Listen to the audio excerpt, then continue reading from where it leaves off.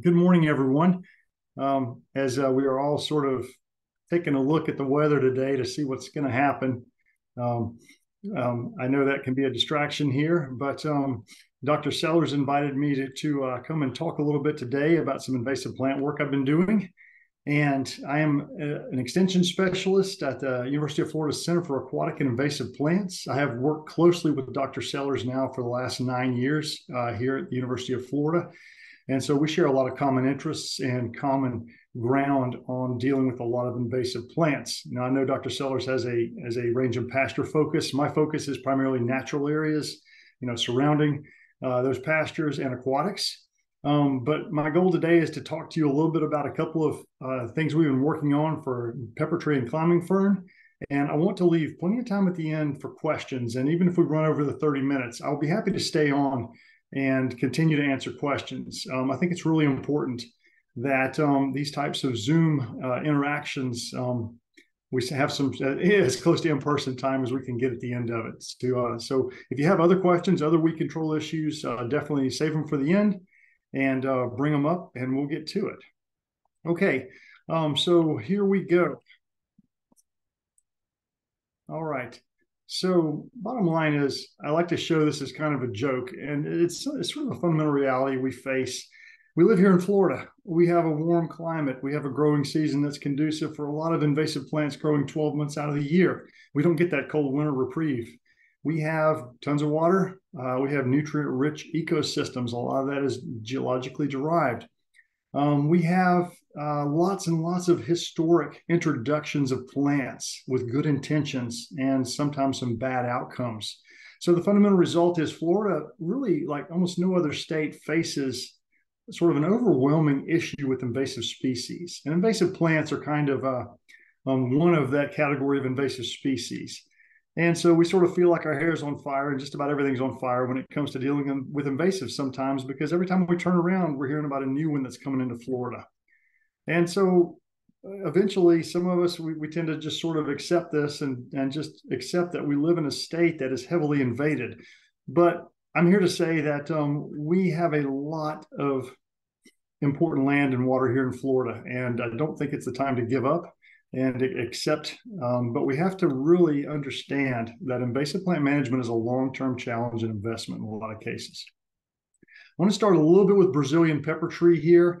And I'm not going to give you a lecture on the history of it. I know that you've heard these things many times before, but I just want to show you this map of, uh, of, of distribution of pepper tree. And, you know, it wasn't 20 years ago, that was way further south. And so we are seeing pepper tree move up the peninsula and we are now seeing it out in the panhandle. And actually, it was found on Eglin Air Force Base a couple of years ago in the far western panhandle. And so it's up in South Georgia now. And so it's a species that's continuing to move northwards. Um, it is definitely well beyond that lag phase. And it is causing problems throughout much of the state now. And I, I expect the reality to be that just about every county in Florida will eventually have some presence of Brazilian pepper tree over the next decade. Um, so, one technique that we rarely have talked about with woody shrubs um, is called hack and squirt. Now, hack and squirt is an invasive plant management or woody plant management technique that is what I call sort of surgical operation. It is we use surgical precision to make incisions or cuts into the side of a tree or woody species, and then we very carefully inject the herbicide into those cuts. And you can see here that um, we, um, we've made a hack d- down into the, the wood. We go through the outer bark, we go through the inner bark. Uh, that's the phloem tissue that transports all the photosynthates from the leaves down to the roots. We go into the sapwood, and that's that xylem tissue that translocates water upwards from the roots to the leaves. And the cambium layer in between is the meristematic or uh, regenerative tissue that makes new sapwood and new phloem. So our goal with Hack and Squirt has always been to make a well and fill that well with a concentrated herbicide solution that allows that herbicide to effectively be delivered down to the roots and the root collar of the tree and also upwards into the canopy, uh, which would result in canopy brownout. Now, this is an old silvicultural technique, and we really have sort of ignored it for woody shrubs because they're often multi-stemmed. But we got to taking a look at this, and I want to share some stuff that we've figured out that can be a really effective way to go after Brazilian pepper tree. It's called the reduced hack and squirt approach uh, for pepper tree. And basically, what I like about it is it takes the four gallon backpack off your back, or you're not mixing spray volumes for foliar treatments, you know, in 100 gallon tanks. We basically have a machete and a 750 mil squirt bottle. And we can go after pepper trees like this very effectively and efficiently with this reduced hack and squirt technique. Now, the key always will be that everything I talk about is getting the herbicide into the hacks that you create. And you can see here with that squirt bottle is putting that herbicide directly into that hack with no runoff. And you're going to see this is important down the road. Now, most folks in the past have looked at big pepper trees like this and said, yeah, there's no way I can hack and squirt that because I have to do a continuous series of hacks all the way around it in order to effectively control it. With my technique that we've developed, you don't have to do that. We have a very limited number of hacks on these stems, and you're going to see just how effective this is. Now, it uses one specific herbicide. This is method 240SL. I'm not here to say this herbicide, but I'm here to talk about it because this is what we have found to be extremely effective at this reduced hack and squirt approach. Now, method is a um, it is very similar to the other auxin type herbicides you're familiar with from pastures like in rangelands like Remedy. So it's similar to triclopyr. It's very similar to uh, a number of the other auxin herbicides like Milestone. And so it's got that tip, classic auxin type symptomology. Now, generally, method is relatively non-selective, and it's a very strong herbicide. And we like to say it's a little more like imazapyr than triclopyr in terms of soil residual activity and broad spectrum activity. So where we start with this is a 50% solution of it for reduced hack and squirt. That means mixing a very small amount in a squirt bottle. Okay, so the great thing about this is you can start very small. You can mix very small batches and actually treat quite a few stems with this approach. Okay, now, how do we determine how many hacks it's going to take to kill these pepper trees? So we do a couple of things here. Uh, we have a machete, and most machetes are about two feet long or 24 inches. We like to say 24 inches is a pretty good standard hack height because that's generally a comfortable hack height to make a downward 45 degree angle incision into, uh, into and around the stems. I have these two liter bottles that are sort of plastered across the tree here, you'll see. And basically, a two liter Coke bottle is four inches in diameter. Very straightforward there. And so, what we're saying is one hack literally for every four inches of stem diameter. So, that results in most pepper tree stems only needing one hack. That means you don't have to girdle all the way around them. You just make a single hack on one side that you're going to be able to put the herbicide into for all the primary stems. So you can see here on this tree, um, you're looking at uh, all those stems and sort of assessing exactly what the diameter is. You don't have to measure these things, and you're going to get a really good visual and rule of thumb the more of this you do. And so this is not an absolute universal thing. Smaller stems, no problem. Even a little bit bigger stems, a single hack is often very good too. And so it's, it's a general rule of thumb to sort of help you begin to understand what do I need to do to, to effectively treat this tree. All right. So basically, uh, I've got some notes here that will be there for the presentation for you. okay, so you can see there, I'll pull the Coke bottles away and we're looking at a number of hacks that we're going to make it 24 inches for each of these stems. And so instead of girdling all the way around, we can quickly make about six, seven, eight hacks there uh, to control this tree. Okay, so basically we need, if you have little whipplet stems around the base that are less than an inch in diameter attached to these big trees, you can ignore those completely. You make one hack for all those stems that are less than a soda bottle wide, two hacks for one to two soda bottles, and for those really big pepper trees, three hacks will do it uh, for those eight to 12 inch diameter stems. Okay. Evenly space those around if you can. Um, if not, then, then put them, try to separate them a little bit to get the herbicide into the tree. Never hack above other hacks, always space them out just a little bit so that um, you're effectively going to get that herbicide to, to translocate throughout the tree. All right, here's some examples of one hack per stem. You can see um, on this uh, picture on the left, uh, there's one, the, the, hacks are in black there, circled in black, uh, and you can see the applicator came in, made those on the top side where they were easiest and the herb and would hold the herbicide best. The pictures on the right, you can see there's some little tiny stems that you're going to ignore. And then there's slightly bigger stems, one hack per stem uh, is going to do a great job on completely killing that tree. So this really, this technique um, really stressed some people out because they said there's no way this is going to work. We've tried hack and squirt before with, with triclopyr products, and we've just not seen good control. And with method, it is extremely effective. Now, it is important that you get the herbicide into the hack. And this is where it takes a little bit of practice and getting a squirt bottle you're comfortable with that delivers about one milliliter per stroke is the best thing you can do. Because generally, on a hack this size, it will hold about a milliliter of solution when you inject it in pretty slowly.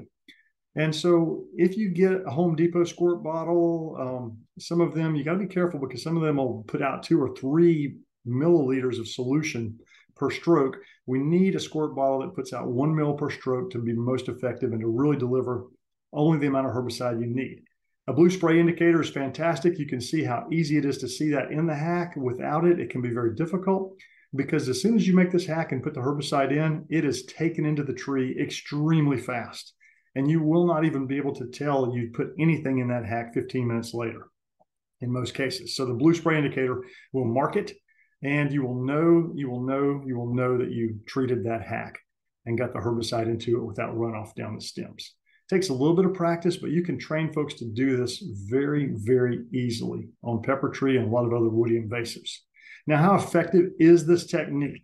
We've done a ton of work in South Florida um, where we have compared basal bark applications with Garlon 4 Remedy or Trycera um, at, a, at, either a 10 or 20% on a volume to volume basis, where we've basaled around every the base of every tree. We've compared that to method herbicide, and we actually compared it to milestone herbicide too.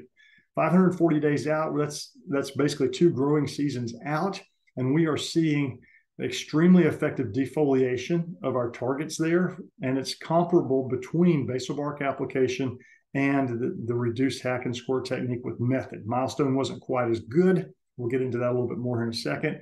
But in general, this technique has effectively worked as good as basal bark application for Brazilian pepper tree. Now, if you're familiar with basal bark, it's not a lot of fun. It's really tough on pepper tree carrying those four gallon backpacks through dense stands of pepper.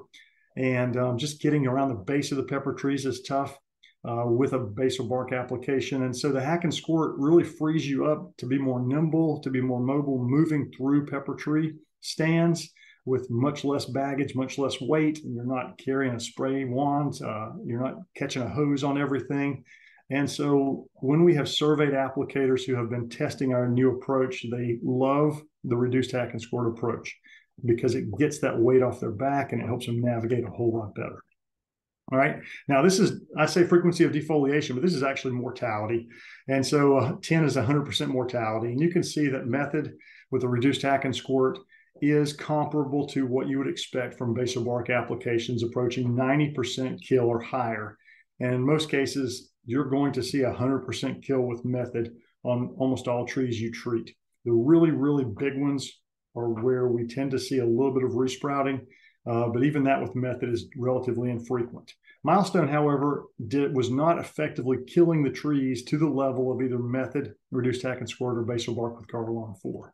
So we're not really encouraging the use of milestone for this right now, but definitely method in this case. Okay, what it means for you. So this is an alternative to basal bark application for pepper tree. Um, we have done extensive research on this. We've gotten it published. We are recording uh, YouTube training videos on this. And I already have PowerPoints training modules ready to go on this, and I'll be happy to share it with you. It is extremely effective on pepper tree and just about every other woody invasive we tested it on. The only one we've struggled with is lead tree, but literally every other woody species we've done this on has been effective. Chinese tallow tree, extremely effective. It's really good on Australian pine. It's great on Suriname cherry. It's, it's great on um, basically if it's got a woody stem big enough to hack, method has been very effective with this. Now, some of the cool things, it uses 95% less herbicide than basal bark application. And it's similar in application time to basal bark application, which is nice. Eliminates that need to carry it. And again, this is that non-crop natural area treatment. It's, you're not going to be using this out in your grazed pastures at this point, uh, but we are working to see if we can make that happen in the next few years. So this is an option. And if you have more questions about it, I can share a lot more information with you about this. Okay. moving on here because I'm already behind. Um, world climbing fern. This is another one. This is probably one of the worst wetland plants that we have in South Florida now. It is extremely aggressive. You can see uh, it is smothering uh, areas. Uh, that picture on the left is just an entire forest ecosystem that has been overwhelmed by world climbing fern in the Everglades, um, blanketing over every single tree there. Um, this is a, a, fern species, so it reproduces by spores, which blow in the wind. And you can see it has fertile leaflets on that bottom right picture, and that's where the spores come from. And it will produce some of these throughout the year. So there's not a single single set time it makes them, but it, but spore production can often be heavier in the late summer into the fall.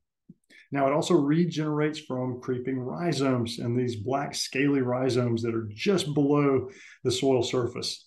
Um, they are impossible to hand pull. We have tried hand pulling as a technique. It is not effective. They break off and you do not effectively control the species. Okay, so you can see um, oftentimes we will see this type of blanketing growth around sloughs, um, around canals, around forested wetlands, where they just overtake everything, overtake everything, and tend to collapse the canopy structure. Um, younger infestations tend to look like this. These look like pretty overwhelming types of infestations, but this was actually down on DeLuca um, just uh, nor- by Yeehaw Junction, where we identified a whole lot of areas that were really heavily infested with with old world climbing fern on the new UF property there. And we are very grateful for that property. It's going to make a fantastic area in terms of researching uh, invasive plant management for a number of things. To control old world climbing fern, we've always said you have to poodle cut it. And you can see on the left picture there, the poodle cutting is using a machete or something to mm-hmm. sever all the climbing vines. Everything above dies, and then spraying everything below with a pretty hot solution of a glyphosate product, about a 3% volume to volume. Some folks get it down to two, but in general, that's pretty much contractor standard. Okay. If you try to spray without poodle cutting, and you can see the picture on the right there, everything above the spray line survives. So you don't get effective translocation upwards enough to kill the rachis or the, the vines above the spray zone. And it's just too tall up in the trees to effectively foliar spray it without an aerial application. So we do have to poodle cut when we do this. So glyphosate has always been our, our tool of choice there. Back in 2015, we, we remember this controversy with glyphosate about claiming that uh, Roundup caused cancer. So the EPA, and we saw we had a lot of lawsuits regarding that. Um, the reality is, the World Health Organization never classified glyphosate as a carcinogen or cancer causing agent. They simply reclassified it to probably carcinogenic based upon the data they were looking at. Now, the EPA disagrees with them, and they have reviewed the data multiple times and they have concluded that glyphosate is not likely to cause cancer. They have mandated no changes to glyphosate labels regarding this issue, and they have actually gone so far as to prevent California from enacting Proposition 65 language on glyphosate labels that would say it does cause cancer. Now, the EPA is reviewing glyphosate regarding endangered species, and that's an entirely separate issue. Um, and they are going through that process right now, which is going to take several years in an upcoming biological opinion. That will be the thing that could potentially change glyphosate use patterns. But as for now, nothing has changed. And the EPA says the data does not support glyphosate as causing cancer. Now, UF has always said, look, it's a useful tool if you follow all safety recommendations. Um, we're not trying to sell it. We're not telling you to use it, but we're saying that we agree with the EPA on the current safety of glyphosate as not being carcinogenic. And so we put out a white paper on this um, to sort of uh, support that stand. And nothing's changed on that in the last uh, six years since we actually did that. Okay, we always stand on the backbone of IPM of using all reasonable options in concert to manage pests, whatever they are, including invasive plants like old world climbing fern. If we rely too heavily on glyphosate, we are going to have problems down the road anyway. So we don't do that. Now, a lot of folks have tried to get away from glyphosate. And so we have responded to that in doing several studies looking at other herbicides uh, for control of world climbing fern. What you see here is data from a triclopyr study comparing three different formulations of triclopyr, Trycera, Vastlan, and Garlon 3A, all aquatic labeled products um, that, and what you see here is compared to Roundup Custom, at 360 and 600 days after treatment, there are no statistical differences. Those all have B's, meaning they are not different statistically so that a 1.1% solution of Trycera or Vastlan, one and a half of Garlon 3A is all equivalent in terms of efficacy on old world climbing fern a couple of years out compared to that glyphosate treatment that we have historically utilized. So we have done this at multiple locations. We have done it operationally with contractors, and it has been very consistent in terms of its efficacy. An interesting thing that we have seen is when we switch to triclopyr, we are actually seeing less native fern damage and we are seeing better native fern recovery. So looking out three years out, almost in those same plots, we have seen better fern recovery now, this is in natural areas. I know that, that we're not eating ferns or grazing ferns in general, but from a native ecosystem perspective, this is a good thing. So we're finding out that a switch to triclopyr can actually be beneficial to a lot of your herbaceous fern community compared to that glyphosate application. So basically what this means is if you want to get away from glyphosate, we have multiple triclopyr products that are effective for old world climbing fern control. Now with this, typically you can cut herbicide use by about 50% um, compared to the 3% Roundup Custom or other glyphosate product. You got several formulations to choose from, three labeled for use in aquatic situations, which is what we normally recommend for old world climbing fern in general um, because it grows in such wet areas. And we see some better fern tolerance. The one issue with triclopyr we see is over application around the base of trees and uh, where we're seeing some potential damage on maples and uh, some other tree species. So we have to encourage people to be careful if they are switching to triclopyr um, to make sure their applicators are not heavy handed around the base of trees when they're doing this. Okay, so to wrap this up, um, we are working on a number of new trainings. And so we've shifted to YouTube quite a bit here. We're doing IPT, individual plant treatment techniques trainings. And I'm really doing these to lay out a standard for application techniques for all of these different approaches from basal bark, cut stump, hack and squirt, and foliar. We have two already done, and they're on our YouTube site at the UF IFAS Center for Aquatic and Invasive Plants. Uh, that can be accessed through this site, um, plants.ifas.ufl.edu. We've developed a number of management guides and videos. These are two page management guides. I'll show you a picture of one for a number of species that you are dealing with in South Florida and videos on basal bark application, cut stump application, syngonium or arrowhead vine management. And we'll be having a reduced hack and squirt pepper tree one up in the next few weeks. Um, and we're just going to continue to produce this type of content. These two page management guides are recommendations that lay out herbicide recommendations by IPT approach, as you can see here, with a ton of considerations for things like um, adjuvant, seasonality, hydrology, non-target damage, retreatment intervals, the things you really need to be thinking about in terms of invasive plant management. We are going to have, we have eight of these done. We'll have another eight done here in the next couple of months. And uh, we're going to continue to crank these things out. We found they are extremely useful, quick reference guides for invasive plant management. Uh, this is the uh, YouTube site, um, um, or this is the site that will take you right to the YouTube videos, which are the instructional uh, treatment videos uh, with a lot of in-field videos and in-classroom teaching type videos on breaking down all the aspects of invasive plant treatments. So where my research program is headed from here, um, we will continue to work on pepper tree and climbing fern. These are two of the worst in Florida. We're always working to become more efficient, more effective, and um, in our in our control methodologies uh, for these species. We have some aquatics that are really up and coming, like Cuban bulrush is becoming a really really bad problem in our lakes and uh, waterways. Um, it's time to revisit cogon grass. We're opening up a big cogon grass project we have ongoing now, looking for some alternatives to glyphosate and imazapyr to see if we can figure out some effective but more selective management approaches that we can utilize both in non-crop natural areas all the way into grazing lands. All right. Um, a number of other projects we're focused on. Again, more old world climbing fern, gametophyte work. Wetland nightshade is another growing problem in South Florida. Java plum, earleaf acacia lead tree.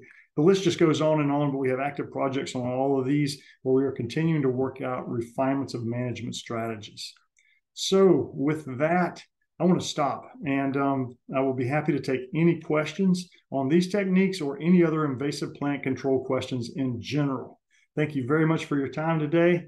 And I, I hope and pray everyone is safe uh, with the weather as we go forward. So I'm canceling, closing out of that, coming back. And let's go to questions.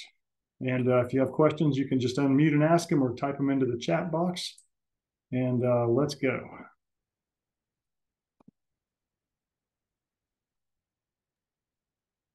Thank you, Dr. Enloe. It looks like you might have a few questions in the chat. Awesome. Okay. All right. Christina Russo asked the question Do you have a spray bottle you recommend for one mil per spray? So, one thing I would say is get on US Plastics website. They have a ton of spray bottles and they provide better technical specifications than just about anybody. And the nice thing is, you buy the first batch of them, and and then you can just buy the spray headers themselves that attach to the bottles by the case after that if you need to. And so they U.S. Plastics is a good source of spray bottles. Home Depot, um, the Home Depot generic HDX bottles are as close to one mil as, as I've seen from the the box stores. Um, feed and seed stores can vary tremendously, like the the ZEP brands. Those are typically really high output volumes um, as are the spray masters, the gray bottles. Those are like two to 3.5 milliliters. And so I don't recommend those for this technique. But we do have options. Uh, take a look on US Plastics website. Ace Hardware has a one mil spray bottle. Their standard is pretty good. Um, and uh, that one has been very effective. We used it in a lot of the research. So, yes, spray bottles differ radically across brands, but within the same model brand, we have found they are extremely consistent. And we've done a number of testing of a number of bottles to figure that out. Okay. Uh, the links to training modules, Lee Amos, thanks for the question. Um, so basically, Ian Talty has already done that and shared that link uh, from plants.ifas.ufl. So that's there. And um, be sure to check back on that site over the next few months. It's going to continue to grow like crazy with a lot more management guides and a lot more training videos. And these training videos, we try to keep them short um, into like little 10 minute videos that are sort of sectioned into targets, treatments, tools, techniques, timings, and trouble with all those different sections. And so um, I think that uh, that approach you can sort of digest a little bit at a time. Rainy days, get uh, get your applicators, your crews um, to take and watch them, and they can be really useful in terms of better understanding the science behind these techniques. Okay, moving on. Lee Amos, uh, if it's okay to ask another plant, treating rose natal grass with glyphosate foliar. Are the seeds killed by the application? Excellent question, Lee. Okay, rose natal grass is one of those extremely frustrating invasive grasses here because it has a very short um, juvenile stage, meaning it germinates and can pre- be flowering and producing new seed in six weeks following germination six weeks seed to seed, we like to say, which means you can have multiple generations a year. And uh, it can just really give you headaches because you spray it out and the next crop germinates and um, and just keeps coming back. And so rose natal grass with glyphosate, yes, the foliar applications will kill it, but if it is flowered and the seeds have hardened but are still attached to the plants, then no, the glyphosate will not kill them. If it is an early flowering before the seeds are filled, Yes, you can get glyphosate translocation into those seeds and they will be killed, but that's a really difficult window to exactly tell you. So I can't give you a calendar date or anything like that. Um, it's it's just it's when the seeds are still soft and and and milky. Basically, they're not hardened yet. That's the last chance you would have for glyphosate to be effective. Um, so you don't need to hand collect seeds prior to foliar treatment. I would say. Um, I mean, if you want to do that, that's fine. Um, but uh, the reality is, you've got a seed bank there in general. Um, other herbicides, some folks have had some success with plateau herbicide, imazapic, but it's been real hit and miss. We've been working on a new herbicide called Esplanade uh, or indaziflam as the active ingredient. It is a pre-emergent only herbicide, so it's not going to kill the established clumps of rose natal grass, but it is effective on stopping the seeds as they germinate in the soil. We've seen pretty good success with fall applications, a little bit better than spring applications. The problem is if you're trying to restore a site, it can also inhibit the germination of some of the species you're trying to seed. So it works best in areas that already have some established perennial cover of other species. Um, and and uh, but the issue there is killing the established bunches. So we are still we got a long ways to go on rose natal grass. Um, we that is one we definitely need to make some headway on. Cost comparisons: reduced hack and squirt with method versus regular hack and squirt with glyphosate. Okay, so Christine, excellent question here.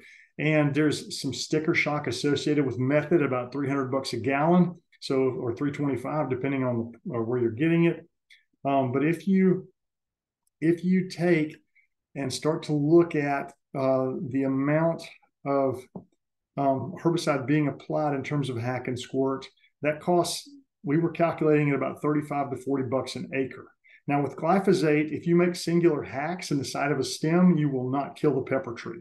Okay. So with glyphosate, you would need to make evenly spaced or continuous hacks all the way around every single stem to effectively kill it. Um, and so the difficulty in that is why people have not done it in terms of hack and squirt. This is why I say get a quarter method and start very small and determine if you like what you see and um, and but over time it's sort of a radical departure from glyphosate approaches. We've typically recommended glyphosate as a cut stump treatment or as part of a foliar treatment, uh, but rarely have we used it as a hack and squirt for pepper tree. So yes, there is sticker shock there, and I I hate that. It's very frustrating.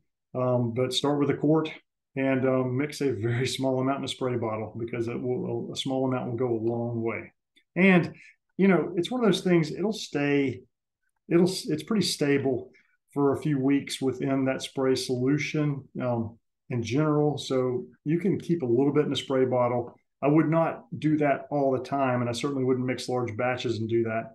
But to have a little bit in a 750 ml spray bottle in the back of your truck that uh, that you could hit a few trees just to see how it works, uh, that's absolutely fine. Okay, any other questions? Nope. Okay, listen, folks, I really appreciate your time. I, my email's in the presentation. Feel free to reach out to me if you have more questions. If you would like me to email you a PowerPoint training that goes through super detailed step by step for the hack and reduced hack and squirt approach, I will share that with you immediately. Send me an email and I'll, I'll share it through Dropbox link. And um, and we will be putting that on our website very soon in terms of a YouTube training module for that. Okay. So thank you for your time, and I hope everybody has a, a good, safe day. Uh, I'll put my email, I will type my email address into the chat right. Okay. Thank you, Dr. Enloe. Boom, there we go. Okay, thank you. Awesome. Um, I'm going to take just a moment to share a few upcoming events. So I hope you can see my screen. I think you can. Um, our next ONA highlight is going to be held on February the 13th, and it is going to be with the South Florida Beef Forage program. They're going to be sharing about their programs and resources. So I hope you can come back and join us for that. Whenever I share the recording from today's program with you, I'll include the link to register for that. Also, this month we have on January the 24th the 41st annual Florida Cattlemen's Institute and Allied Trade Show in Okeechobee. That registration ends on the 20th if you'd like for the $5 registration or $10 at the door. So I'll share this program flyer with you as well as the next. Farm Bureau with the Sarasota County Extension Office is having a Progressive Agriculture Safety Day for students. That's on a Saturday, February the 3rd at the Sarasota County Farm Bureau office um, or field building. Going to be a really awesome program. I was um, privileged to attend last year, and so Please get signed up for that soon if you can attend. One free adult is allowed with each paying student, and the cost is $5. If you're not already doing so, we invite you to follow us on social media. We're on Facebook, Twitter, and have a very active YouTube channel. And if you do not already receive our weekly Friday newsy emails, I invite you to send me an email at the address shown on the screen. And I'll get you signed up so that you can stay in touch with us and hear about all the interesting events we have coming up, as well as the, the news that happens each week. So, again, Dr. Enloe, thank you so much for joining us. I really appreciate it. Absolutely. And everybody that's out there, um, we will be sending you an email, if not tomorrow, by the next day with this recording, as well as a link to our website where you will find a copy, a handout copy, PDF form of Dr. Enloe's presentation for you to access and download or print for your records. And we hope that we can see you again in February. So have a great day.